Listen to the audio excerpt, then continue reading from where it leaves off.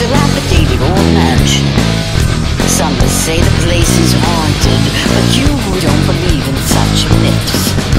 One dark and stormy night, a light appears in the topmost window in a tower of the old